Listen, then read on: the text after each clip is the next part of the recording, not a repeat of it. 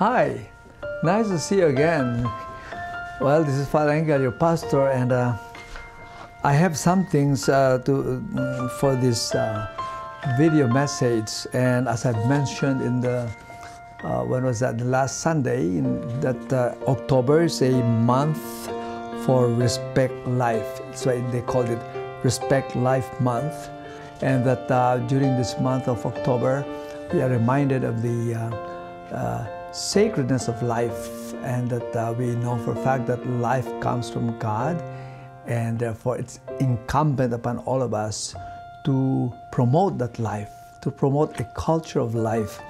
And so for this reason, the Diocese of Jose to which we belong uh, has a number of events uh, to help us pray, to listen, and to act in defense of all human life from its beginning to its natural end.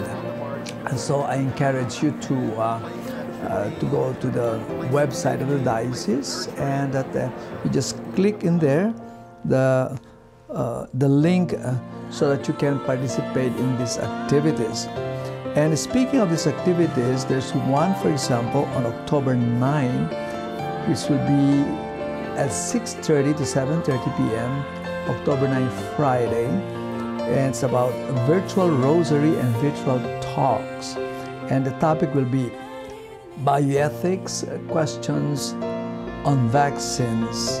And here it says that the speaker will look at the emergence of vaccines for the COVID 19 and he will present an overview of the history of the church's understanding of vaccines, the moral questions regarding the origins of vaccines, and finally, an approach regarding discernment of receiving a vaccine. The speaker for this uh, will be Father Joseph Benedict. And also on um, October 24, from 5 o'clock to 6 o'clock p.m., there is also a, another activity and it's called Ignite Life 2020 and advance advance a culture of life, it says here. It's a virtual event, actually. You go to that link and you will find that again at the website of the Diocese of San Jose. It is organized by the nonprofit clinic Real Options and it is endorsed by the Diocese of San Jose, the Diocesan Office of Life, Justice, and Peace. And so you're all invited to, the, to these activities that we have.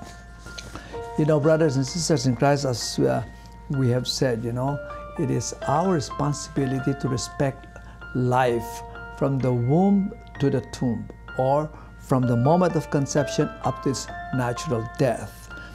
And so uh, here we, uh, we find these stages here where the respect starts there, basic, from, from the womb of the mother, and then when we we go into adulthood that we, we must all be promoters of life no?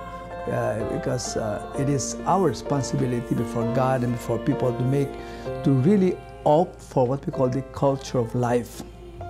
And also even up to the uh, uh last hours of our life here on earth still we, we respect life.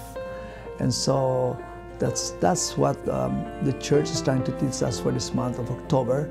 And so I am asking you to, as we have mentioned, to pray, to pray and to reflect and, uh, and act always in defense of human life. We must cultivate the culture of life. So again, thank you to everyone and see you again. God bless you.